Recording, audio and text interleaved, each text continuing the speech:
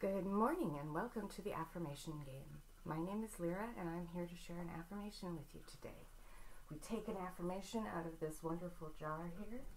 It is rolled up in a scroll, like so. And today's affirmation is awe inspiring.